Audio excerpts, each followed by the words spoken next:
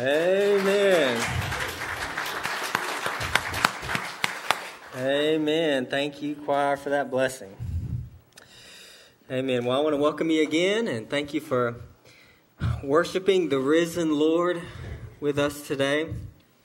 Um, and now we're going to transition from worship through song through worship in hearing the Word of God. So let me pray for us one more time uh, as we begin. Lord, now uh, we acknowledge our need to hear from you. So, Lord, I do pray that you would help me speak. But far more than that, Lord, I pray that you would speak today. You would speak personally to each of us. You help us to understand your word. Help us to believe it, to apply it, or to obey it, to know the joy that comes from walking with you. Pray that you would give us that this morning and every day as we seek to surrender and submit our lives to you, Lord. Give us the joy of obedience. So speak to us now, Lord, we pray in Jesus' name. Amen. If you have a Bible, please turn to Galatians chapter 2. Galatians chapter 2. Now, did you know that Christianity is the only religion in the world that believes in grace? It's true. It's what sets apart Christianity from every other religion, and in fact, every other worldview in general.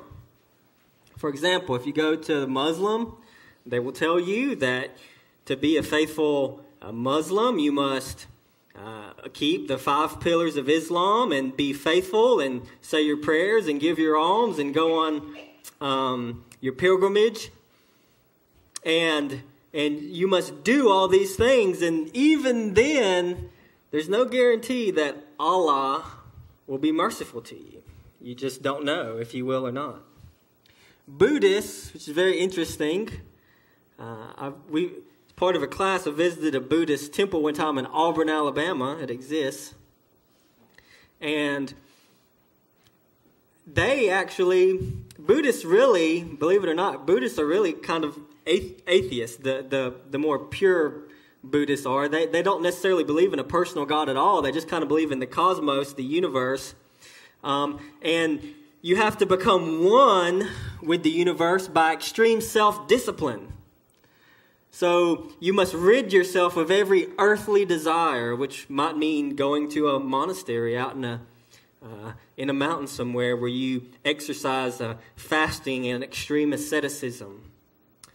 In other words, you have to be disciplined enough to attain oneness with the universe. Jews, of course, say that you must keep the law. Um, even Christian cults like Mormonism and Jehovah's Witnesses, besides their defective Christology or defective beliefs about the person of Christ, they also say that faith is, there's more than faith required. You must also do good works to be saved. And of course, uh, in uh, in America, in the West, and um, uh, in our secular humanism, uh, of course, everything is works based salvation. You got to work hard enough so you can get a good job, so you can be happy and live the American dream. It's all about work. What does the Bible say about how we're right before God? Well, that's what we're going to talk about today. So, if you have your Bible and you're able and willing, please stand. In honor of the reading of the Word of God, we're going to pick up where we left off last week in Galatians chapter 2, beginning in verse 11. But when Cephas came to Antioch, I opposed him to his face, because he stood condemned. For before certain men came from James, he was eating with the Gentiles. But when they came, he drew back and separated himself, fearing the circumcision party. And the rest of the Jews acted hypocritically along with him. so that even Barnabas was led astray by their hypocrisy. But when I saw that their conduct was not in step with the truth of the gospel, I said to Cephas before them all, If you, though a Jew, live like a Gentile and not like a Jew, how can you force Gentiles to live like Jews? We ourselves are Jews by birth and not Gentile sinners, yet we know that a person is not justified by works of the law, but through faith in Jesus Christ. So we also have believed in Christ Jesus in order to be justified by faith in Christ and not by works of the law, because by works of the law no one will be justified. But if, in our endeavor to be justified in Christ, we too were found to be sinners, is Christ then a servant of sin? Certainly not. For if I rebuild what I tore down, I prove myself to be a transgressor.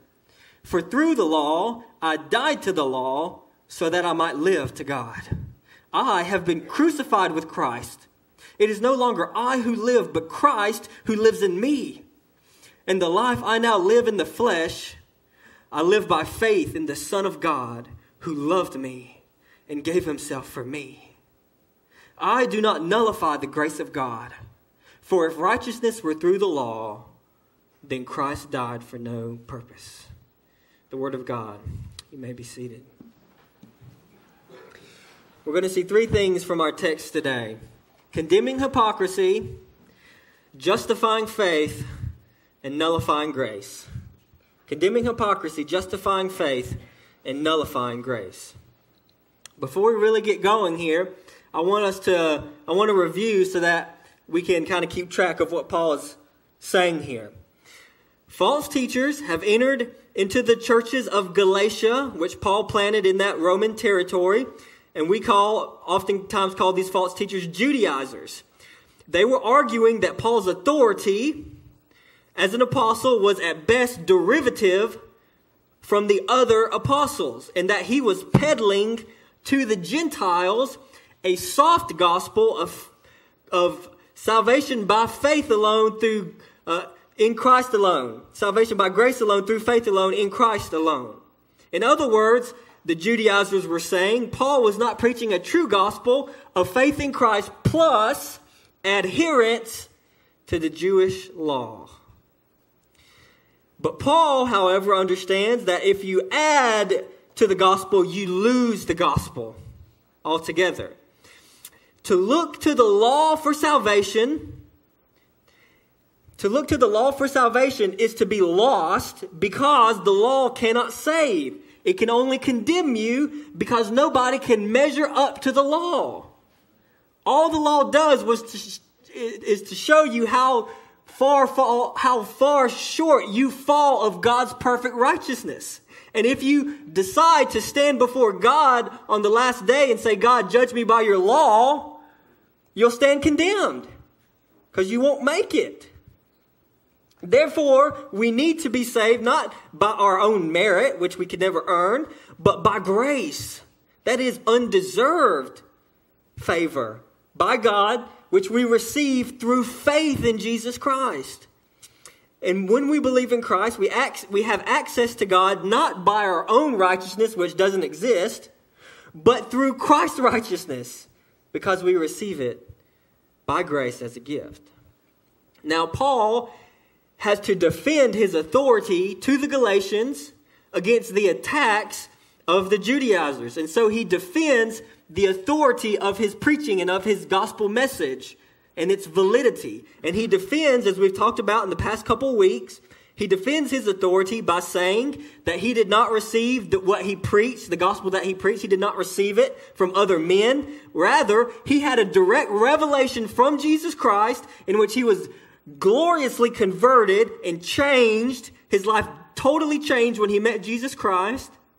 And he received his message from God himself through revelation. And he only visited Jerusalem twice within a 14 to 17 year period and even so then he, he so he wasn't even close to the other apostles he hardly knew them but when he did go to the apostles and had a private meeting with them which we talked about last week when he did have a private meeting with him, they didn't add anything to his gospel. They didn't say that he was wrong. They didn't say he needed to add anything to his gospel. In fact, he brought a Gentile along with him named Titus, who was not a Jew, and they did not force Titus to be circumcised.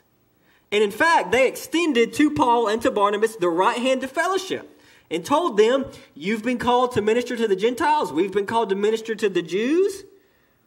And so they acknowledge his special commission.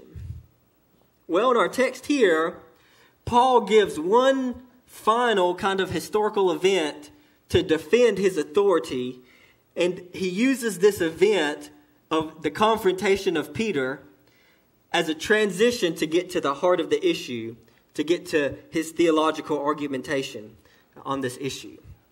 So, first, we're going to see from this text condemning hypocrisy. Let me read verses 11 through 13 again.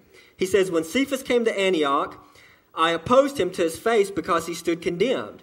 For before certain men came from James, he was eating with the Gentiles. But when they came, he drew back and separated himself, fearing the circumcision party. And the rest of the Jews acted hypocritically along with him, so that even Barnabas was led astray by their hypocrisy. So, what's Paul doing? He's giving one more example of how his authority is not dependent on the other apostles. And this is probably his best example because what did he do? He rebuked the apostle Peter. You got to have some gusto to rebuke the apostle Peter. But he did. At some point, Peter visited Antioch, which was Paul's home base of missions and the place where they sent Paul and Barnabas out on their missionary journeys. This is Antioch in Syria, which is a good deal north of Israel, outside of Israel, uh, in Syria. And, um, and so he's, he's Peter has visited Antioch, and it's most likely in between Paul's visit to Jerusalem, where they had the private meeting with the apostles, which we talked about last week. It's, it's most likely after that, but it's most likely before the meeting in Acts chapter 15, where they have the, the, the final meeting to deal with this issue about whether Gentiles have to become Jews before they can really become Christians. That, that happens in Acts 15. So it's probably in between those two events. So Peter is there, and apparently Peter is enjoying table fellowship with the Gentiles. Okay? He's eating with the Gentiles. Now you have to remember, in the Old Testament, Jews were forbidden from interacting in this way with Gentiles, and they, they would not share a table with Gentiles because the Jews had strict dietary regulations, and if the food was not even prepared the correct way, they wouldn't even share. They wouldn't even eat food out of the same bowl. Uh, you know, if you're having a communal meal, they wouldn't do that in fear of that the food would be unclean. And so this is what. But Peter is apparently eating, and most likely he's probably actually even eating unclean food, Jew, uh, ceremonially unclean food with the Gentiles. Now, that shouldn't totally surprise us because who was the first person that God revealed the fact to that the Gentiles would now be accepted through Christ into God's people? It was Peter. Peter was on in Joppa on the roof of the house of Simon the tanner, and he had a vision of a sheet descending from heaven with all kinds of unclean animals on it. And God told Peter, Rise, kill, and eat. And what did Peter say? He said, No, Lord, because I'm a Jew. I would never eat food like that. So Peter is hard headed. All right. So God shows it to him two more times. All right. Now I know there's nobody hard headed in this room, but he had to show Peter three times that he was serious. And he told Peter that some people were going to come up to him and he's going to share he's going to share the gospel with the Gentiles. And then some people a vis, an angel had already visited Cornelius up in Caesarea by the sea, and and uh, messengers knocked on the door and said, "Hey, we're from Cornelius' house. We want he an angel visited him, and we want to hear what you have to say." And Paul and Peter, who would have never entered the house of a Gentile, says, "Okay, I'll go." And he goes and he proclaims the gospel to Cornelius, and what happens?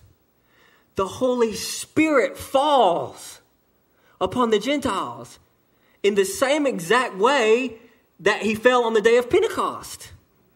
In other words, God is saying in an undeniable way that the Gentiles are now included in the people of God if they believe in Christ.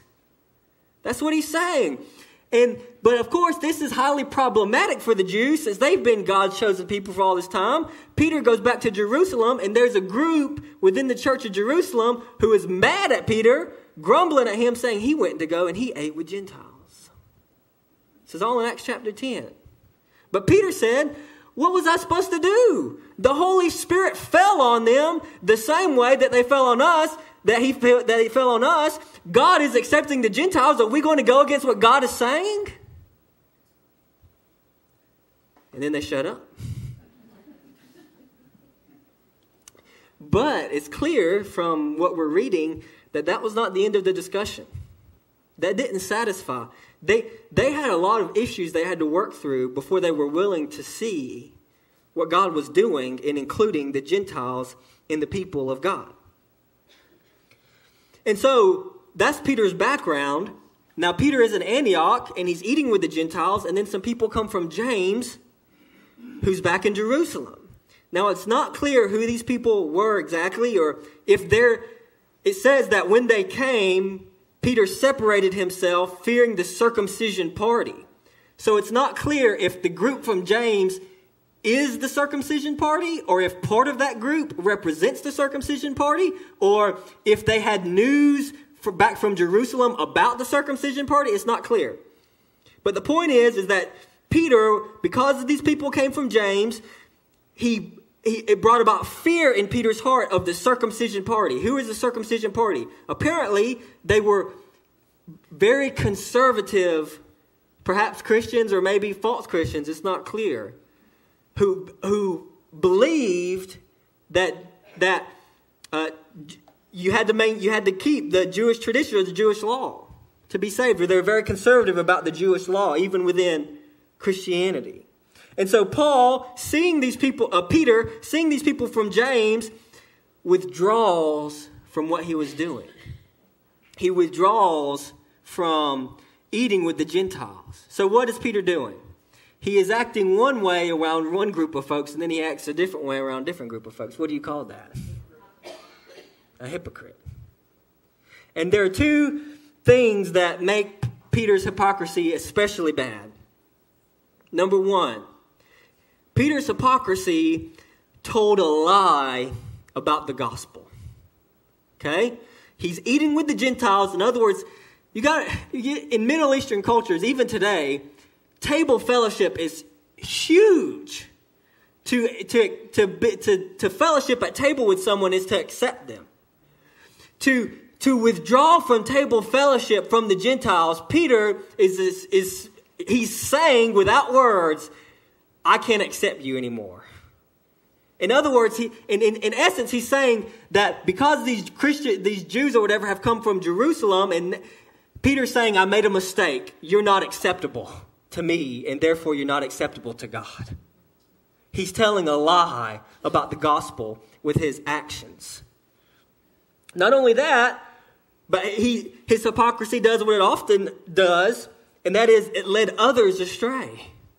Barnabas, the son of encouragement, for goodness sakes, was led astray by Peter's hypocrisy and no longer ate with the Gentiles. So, what do we learn from this passage? First, we must learn to beware of the dangers of hypocrisy.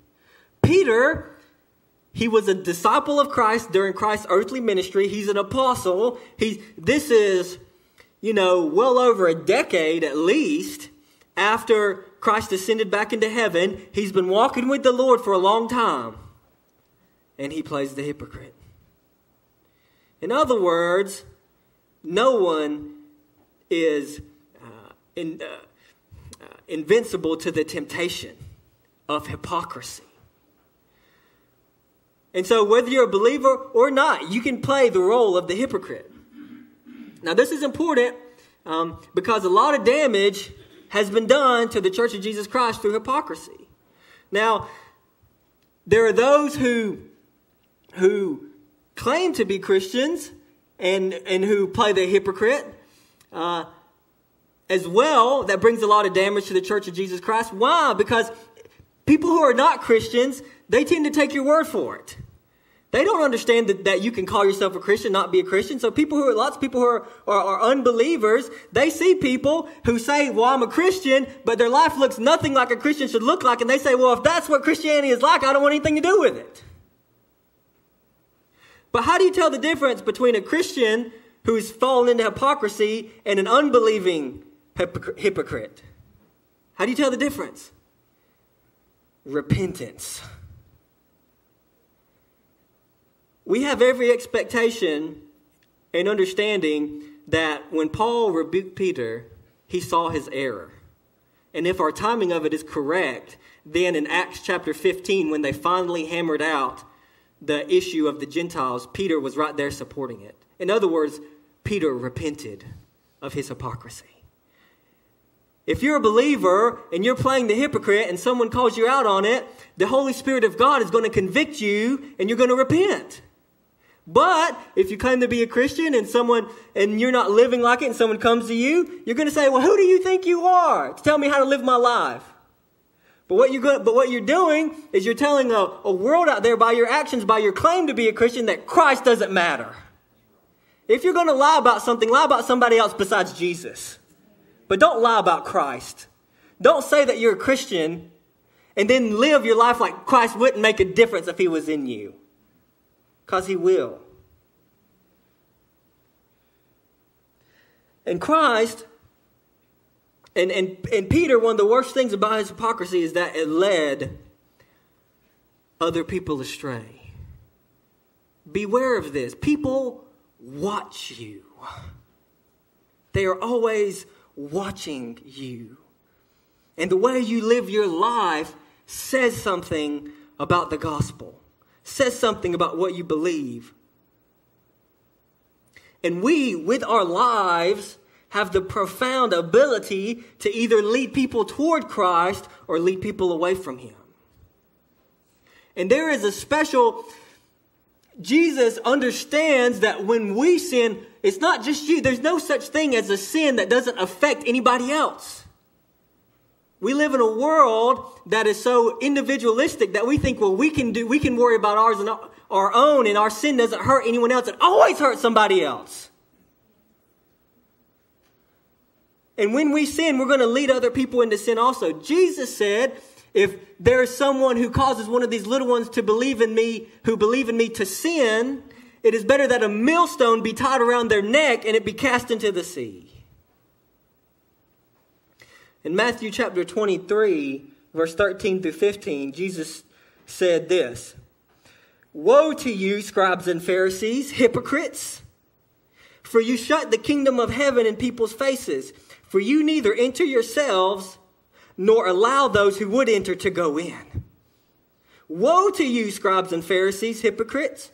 For you travel across sea and land to make a single proselyte, and when he becomes a proselyte, you make him twice as much a child of hell as yourselves. Beware of hypocrisy. And if you're if there is sin in your life, I, I plead with you, repent. This is the Lord telling you right now turn back, embrace the Lord with your life, and experience the blessing that comes with it. Next thing we learn from this passage is this there is a need at times to rebuke others of sin. Paul opposed Peter to his face. That took a lot of courage. And I'm sure Paul didn't want to do it. And of course, there are people who all they want to do is confront other people. That's not the spirit of Christ either. But Paul, the, Paul knew that if he left Peter's hypocrisy unaddressed, it would lead to confusion among the Gentiles about what they must do to be saved. In other words, to not rebuke Peter publicly, in other words, Paul Peter's sin was a public sin. And so he Peter, so even if Paul wanted to address it privately, he's, he really didn't have that uh, he really didn't have that chance. he had to, he had to rebuke Peter, Peter publicly because it was a public sin and because other people, the Gentiles whom he had wounded and who he had confused as to what it means to be a Christian and to be saved, they needed to know the truth. And so he had to rebuke Peter publicly. Because Peter was telling a lie about the gospel. So at times, we will need to rebuke others of sin and we will need to be rebuked of sin. That's part of what it means to be part of a Christian community. That's why the local church is so important. That's why church membership is so important. That's why getting involved and being part of a small group and getting to know people deeply and intimately is so important because then you have people in your lives that know you well enough that can speak truth into your life. You don't want to be wandering around with some sin in your life that, that, that is hindering God's blessing from your life when, when that could be uh, easily helped if you just let people in to help to you, to help you and talk to you. But if you're always keeping people at arm's length and not letting them into your life and sharing them what's going on, you're denying yourself the blessing that God wants to give you. So you have to pursue and let people in and get involved. It's not just because that's what good Christians do. It, you, it's for your soul. It's for your eternal joy in the Lord. So first we see from this text condemning hypocrisy. Second, justifying faith. Justifying faith. Faith. Verse 14 through 16. But when I saw that their conduct was not in step with the truth of the gospel, I said to Cephas before them all, If you, though a Jew, live like a Gentile and not like a Jew, how can you force Gentiles to live like Jews? We ourselves are Jews by birth and not Gentile sinners. Yet we know that a person is not justified by works of the law, but through faith in Jesus Christ. So we also have believed in Christ Jesus in order to be justified by faith in Christ and not by works of the law. Because by works of the law, no one will be justified. So, Paul here, and I believe that this is a these I believe that this is what Paul said to Peter. This is uh, I believe Paul's writing here what he actually said to Peter when he confronted him in Antioch. And he confronted Peter because his conduct, he says, was not in step with the truth of the gospel. That word there literally means to walk a straight line. He was not walking in a straight line with the gospel. His life was saying something different. And Paul calls him out on it. And he says, he says to, to Peter, How, if you were living like a Gentile with these Gentiles here, and the, then these other Jews show up from Jerusalem, how can you, though you live like a Gentile, force Gentiles to live like Jews? But that's what you're saying with your actions. And Paul says that he and Peter, he says, are not Gentile sinners. Um, he says in uh, verse 15, we are Jews by birth and not Gentile sinners, yet we know that a person is not justified by works of the law, but through faith in Jesus Christ. In other words, Paul is saying, Paul is saying to Peter, we're Jews. We're not, we're not far off, so to speak, like the Gentiles were, which they, which they were. In other words, the Jews really did have the promises. They had the covenant. They had the law. So the Jews had special privileges as the Jews that the Gentiles didn't have for some time. And Paul says, Paul says to Peter, we're Jews and not Gentile sinners. And then he says, but even we know that we can't be justified by the law, but by faith in Christ. Even we know that as Jews. So, he says, so we also have believed in Jesus Christ in order to be justified by faith and not by works of the law. So he's saying, even we as Jews, even though we have the law, we have the covenants, we have the promises, we know that we can't be justified by works, but by faith in Jesus Christ. Verse 16 there is the thesis of the whole book of Galatians. If you write in your Bible, I encourage you to underline it, put a star behind it, beside it, write thesis beside it. This is what this is Paul's point. This is the whole point of the book of Galatians.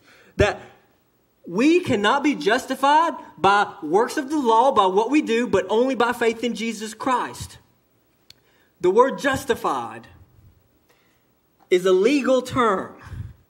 It means a declaration of righteousness or a declaration of one's right standing before God. If you go to the courtroom and you have been accused of a crime, you want the judge to justify you. You want the judge to declare your righteousness with regards to the law. You want, you want the judge to declare you as in right standing with the judge. You want to be justified. But the question is is our right standing before God based on what we do, or is it based on faith in Christ? In other words, does God accept us decisively based on our works or on what Christ has done for us? In other words, if you if you think this is so important because I'm telling you so many people in the world believe with all their heart that because they can think of 10 people worse than they are that they are right with God. And you ask them, well, are you right before God and they say, Yeah, I'm a pretty good person. I'm telling you, so many people believe that. But the reason why is they don't understand they don't understand the radical nature of sin. And what they have done is they have relativized their goodness. They think that God's standard of righteousness is a serial killer or Hitler. But why in the world do we think that God's standard of righteousness would be Hitler? We think that if we're better than Hitler, we're getting into heaven. But does God, is, is our right standing before God depend on being better than the worst person you can think of? Isn't God's standard of righteousness this? Holy, holy, holy is the Lord God Almighty. You must be perfect, therefore, as your Father in heaven is perfect. What makes us think that anything less than God's perfect righteousness will grant us standing before Him? And you say, well, Chad, nobody's perfect. Exactly. That's the point. But if you say that you're a good person, you don't understand. You missed it. You're saying, God, accept me based on what I've done. And God says, you don't want me to do that. You misunderstand. If you rely on your goodness, you're looking decisively to yourself for salvation, and that will never save you. You will stand on the last day. If you say, I'm a good person, God will say, okay. You'll stand on the last day before the throne of God beside the bar of God's perfect righteousness, and you will fall infinitely short. But if through faith in Christ, you have been united with him by the Holy Spirit of God, you will stand before the throne of God on that day beside the bar of God's perfect righteousness, and then Christ will come up and say, Step aside. And he will stand in your place. And he'll do monkey flips over the bar of righteousness. And then God will look to you and say, Well done, good and faithful servant. Why? Because you're righteous? No, but because Christ was your righteousness.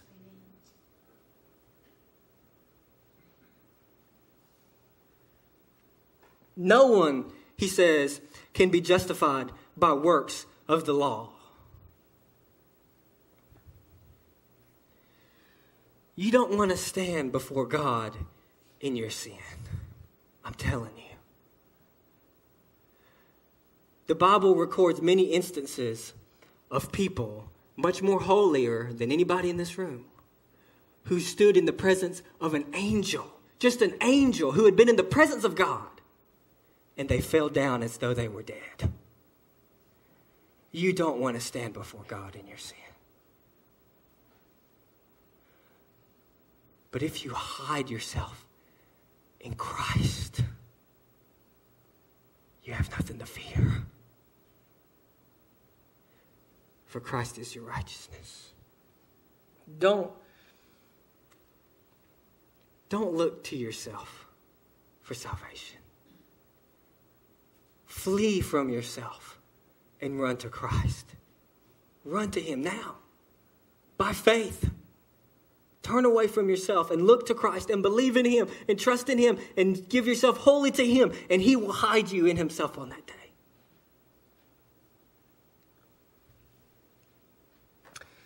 Condemning hypocrisy, justifying faith. Finally, nullifying grace. Verse 17. But if, in our endeavor to be justified in Christ, we too were found to be sinners, is Christ then a servant of sin? Certainly not. For if I rebuild what I tore down, I prove myself to be a transgressor. For through the law, I died to the law, so that I might live to God. I have been crucified with Christ. It is no longer I who live, but Christ who lives in me. And the life I now live in the flesh, I live by faith in the Son of God, who loved me and gave himself for me. I do not nullify the grace of God. For if righteousness were through the law, then Christ died for no purpose. This is this passage is a little difficult to explain, so we're going to have to take it verse by verse. Verse 17. Paul says, "In our endeavor to be justified in if in our endeavor to be justified in Christ, we too were found to be sinners as Christ and the servant of sin." What is Paul saying? He's saying, he's saying, in seeking to be justified in Christ, he is acknowledging that he is a sinner. In other words, if you seek to be justified by the law, if you seek to be justified by what you do, what are you saying? You're saying that you think you're a good person. Think about it. If I if I say that if I say if I told you my right standing before God is based on the good life that I've led, what am I thinking? What am what I what do I think? I'm thinking, well, I've led a pretty good life, right? Otherwise, if I I wouldn't say that if I knew that I was going to be condemned. right? Does that make sense? I would not say I'm justified by God by my works if I thought my works were bad. I wouldn't say that. Paul acknowledging that he needs Christ is the is at the same time acknowledging that he can't be saved by works. But he says, if if in our endeavor to be justified in Christ, we too were found to be sinners as Christ is the servant of sin. In other words, we're in seeking to be justified in Christ, we're found to be sinners. Yes, I'm a sinner. But he says, does that then mean Christ is a servant of sin? People still say this today. If you're saved not by works but by faith, then you can live your life however you want. Christ is serving sin. No. I preached a sermon on that a few weeks ago. I'm not going to preach it again, okay? Romans chapter 6. Look it up on the YouTube channel, okay? But is Christ is Christ a servant of sin? Paul says no, he's not. He Christ does not serve sin. And the answer there in Romans 6 is because we we die we die to our sin. We're made new. So he doesn't serve sin. But Paul's point here in verse 18, he says, If I rebuild what I tore down, I prove myself to be a transgressor. In other words, Paul, in trusting in Christ, is acknowledges that he is a sinner, but that does not mean Christ is a servant of sin. He says, actually, the opposite is true. Christ came to fulfill the law because you couldn't, and to make our standing with God based on who He is and what He's done for us and not by our works, which can't save us. So in Christ, God is tearing down the law and bringing in faith. But the Judaizers, what were the Judaizers doing? They were trying to keep the law as their right standing before God. And Paul is telling them, if you rebuild what God is trying to tear down, you're the transgressor. You're the one that is against God's will. because you're trying to keep what God is taking away. You're trying to justify yourself when only God can justify you through Christ. So Christ is not a servant of sin. Even though I'm a sinner and I need Christ as much as anyone else, it is you who are trying to rebuild what God is tearing down. And then verse 19 For through the law I died to the law so that I might live to God. How do you escape from the law's penalty? Think about it. The law is good. Paul never says the law is bad. It just says he just says it can't save you. How do you escape the law's penalty? If you go into a courtroom and you broke the law and the judge said, "Oh, it's not a big deal. You can go home." What kind of judge is that? It means the law was worthless. It means it was no good. That's exactly not what God did. God doesn't sweep sin under the rug. How do you escape the penalty of the law? You give the law what it demands. What does the law demand? The wages of sin is death. How do you escape the law's penalty? You die to the law. How do you die to the law? Verse 20 I have been crucified with Christ. It is no longer I who live, but Christ who lives in me. You see, how does Paul or anyone escape what the law demands is for the penalty of your sin? How do you escape it? You give it what it wants. You die in Christ. When you believe in Jesus Christ and yield your life to his lordship, the Bible says in that moment, your old self dies and your new self lives. And, on, and, it, and, it, and at that moment, it is as if when Christ died on that cross, you died with him. You through Christ, the law gets what it demands. But in Christ, He's your substitute. And because He lives, you also will live. Paul says, I have died to the law because I have been crucified with Christ. It is no longer I who live, but Christ who lives in me. In the life I now live in the flesh, I live by faith in the Son of God who loved me and gave himself for me. That's what it means to be a Christian. When you when we baptize people, that person is publicly testifying that their old self has died and their new self has been raised with Christ. If that is true, how can you how could we possibly ever live as if as if we never died? As if our old self is still alive and well?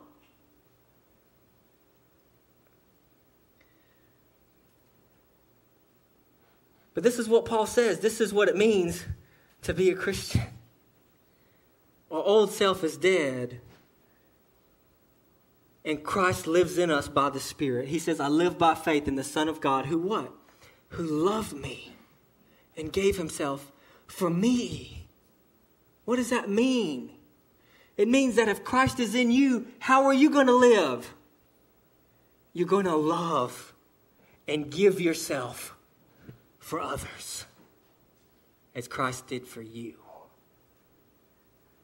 That's what it means for Christ to live in you. Verse 21, Paul says, I do not nullify the grace of God, for if righteousness was through the law, then Christ died for no purpose. There's a lot of people who don't understand what they are saying when they say, Well, I'm a pretty good person, I'm going to get into heaven. If you can obtain the righteousness of God by your works, then why did Christ die? You see? If you can do it on your own, then why did Jesus come? If you can do it on your own, then why did Christ go to the cross? He says, if righteousness can come from the law, Christ died for no purpose. It was a big, cosmic, divine waste of time.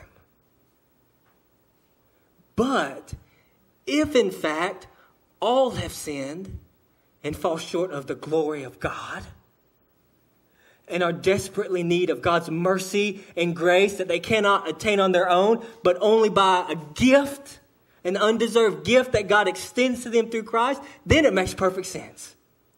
Why Jesus Christ came, why he died, why he rose again.